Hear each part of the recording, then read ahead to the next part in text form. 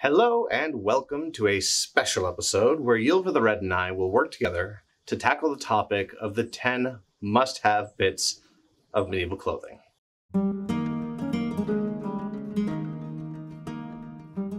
When making a medieval impression, the clothes are a vital part and lay the foundation of a good portrayal. It is important to be knowledgeable and acquire many of the philosophies which passed for normal in medieval culture. Having a strong expertise in medieval soft and hard skills is another contribution to an amazing impression, and vital to teaching or interpreting for the public, or in the educational environment.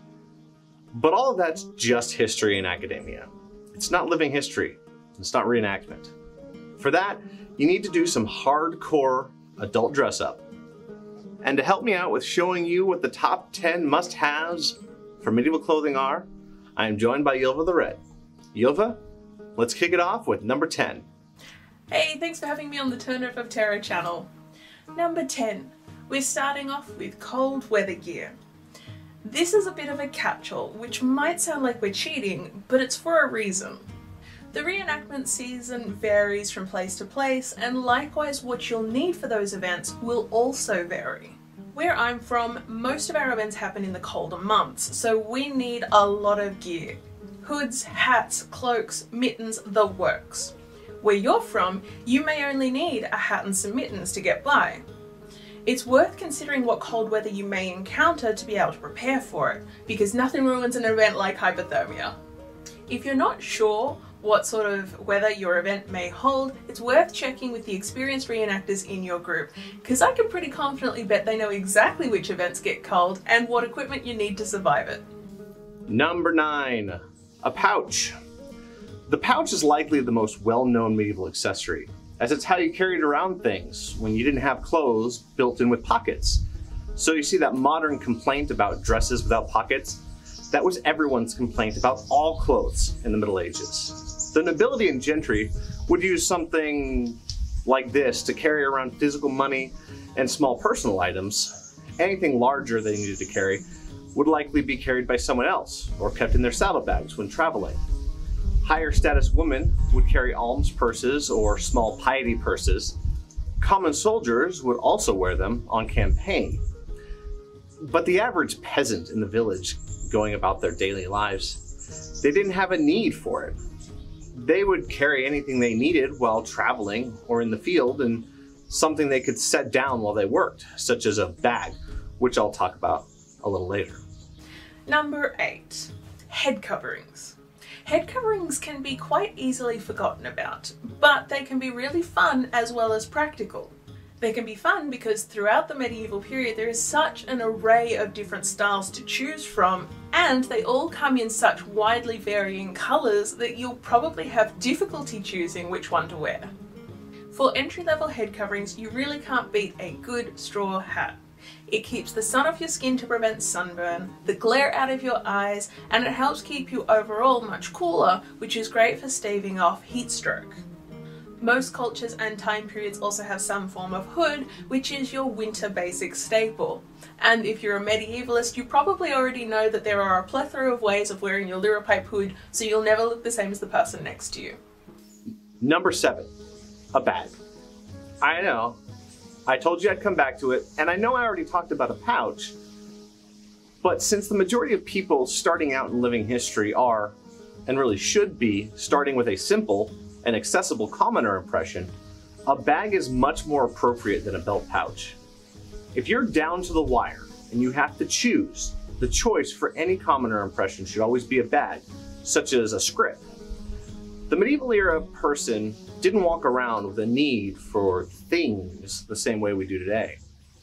We carry our wallet and our ID card and a picture of our cats with us at all times, but the commoner spent most of their time in their village with access to their home or the ability to borrow what they needed if they were away in the fields or out in the commons. The peasantry bartered more than they used coins, and so they didn't have a need to carry around things except when they were traveling. Number 6. Water. Nothing sours the experience of a big medieval event quite like dehydration and the follow-up headache. Even at winter events, we are all at risk of dehydration. and at summer events this becomes even more dangerous with the risk of heat stroke all the more likely. Given how important hydration is to all people at events, a vessel to carry your water is crucial to your health and happiness. Your vessel might be a jug and cup appropriate to the time period and region you're portraying, or it might be something like a leather costrel. A leather costrel is a good one to have because if you need to leave your base camp for any reason, you can carry it with you and have it slung by your side. If you're unsure as to what sort of water vessel you should have, talk to the veteran members of your group. I'm sure they'll have some suggestions. Number five, Legwear. You wouldn't go out and about today without pants on, or at least you shouldn't. And it's impossible to be completely dressed at any point in the thousand years, which is considered medieval, without something covering your legs. While the details of what your leggings would look like vary a lot by century and by culture, generally in the context of medieval Europe, they're not what we would consider pants, especially not baggy ones. Leggings started out and are generally kind of long socks, which you'd then tie to the belt or to a pair of braies, which were like medieval boxers. And the medieval community collectively calls these types of garments chausses, regardless of what variety or local name they might have been used in their time and place. Now, in some cultures, such as Eastern Europe and early Anglo-Saxon or Viking, there were forms of trousers worn, but they're the exception, and in a generic medieval European dress, they should only be worn in those appropriate circumstances. They are not a substitute for chausses, hosen, split hosen, joint hose, etc. Number four, outer garments. Because duh, of course you need outer garments. Otherwise you'd be running around town in just your underwear and that's not okay. While there are some depictions of people working in fields and other activities in just their linens, this is not really a good enough justification for most people to be wearing just their underwear at a public facing event, or at any rate claiming a well thought out impression. Even if you were doing field work, you would still need warmer outer layers for when you retired for the evening and to be considered decent in polite company. Many skills on displays do risk dirtying our clothes, it's true, but given we've got ample evidence for aprons, you should consider wearing an apron over top of your clothes if you are worried about them getting dirty. Consider this. If you wouldn't wear just your underwear in that situation today, you probably wouldn't have worn just your underwear in that situation then either. Number three, a belt. Belts were an integral part of the medieval wardrobe for both men and women throughout the medieval period. Though certain centuries women couldn't get away without wearing a belt, there's evidence from artistic representations to extant garments to inventory receipts that show belts were ubiquitously used. They gather in and held down longer flowing clothes like robes and coats and gowns. They were also used to suspend weapons and personal containers, such as a pouch, and they were ornamentations for the rich. While no one needs a heavily ornamented solid gold plaque belt when they're just starting out in living history, based on the level of your impression, something as simple as a woolen tablet woven or leather belt with something like a hammered iron or cast bronze buckle, maybe a chape, that'll suffice. But the silhouette of the outfit and the functionality of your accessories required as part of the medieval portrayal will not function without a good belt. Number two, shoes. Shoes are an item that can be easily overlooked by newcomers to the hobby and yet will end up being one of your most crucial items in your kit. We spend a lot of time focused on shiny fabrics, pretty brooches, ostentatious hats, that sometimes shoes kind of get pushed down the bottom of the priority list. Like modern shoes, there's likely to be a fair bit of variety as to what's appropriate for your impression regardless of time period. Are you a worker or are you someone with some style to show off? Also, just like modern shoes, you don't have to go for what's complicated or expensive. Number one, underwear. There's no way to get around it. The single, single most important item of medieval clothing is your underwear. Medieval fashion did not put primary garments like this one directly against the bare body, regardless of how coarse or fine the material it was it was made from.